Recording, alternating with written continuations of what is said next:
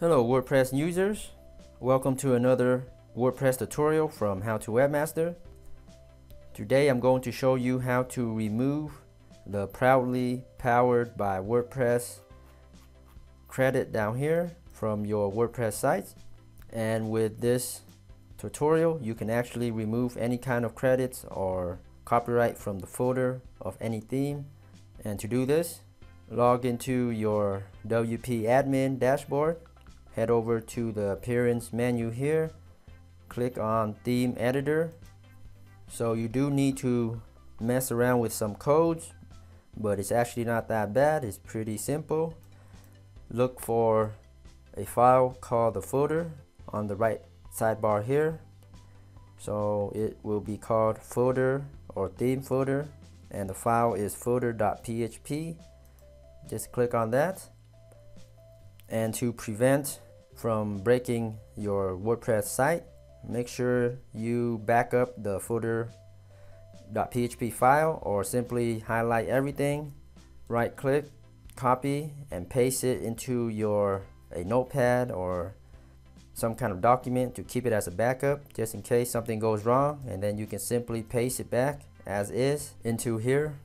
So let's scroll down to where it says proudly powered by WordPress okay so here it is. This is the line we will delete. So delete this and let's update the file. And it'll say file edited successfully. Okay let's refresh the page. And now you see that the proudly powered by WordPress credit is gone.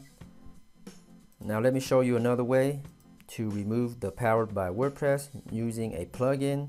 So this plugin here, I'll leave the link in the description below this video. You can also directly search for this plugin from inside of your WP admin dashboard. And what this plugin does is that it will remove the powered by WordPress credits from all of these themes from 2010 all the way to 2019. So to test to see how this works, so I am installing 2017 right now.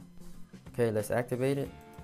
Okay, now my blog is now running the 2017 theme. And there it is, proudly powered by WordPress. Let's remove it with a plugin. So let's go to plugin, add new. And here let's search for remove powered by WordPress. Okay, just like that and here it is remove powered by WordPress. Let's install now. And click on activate. And okay the plugin is now activated.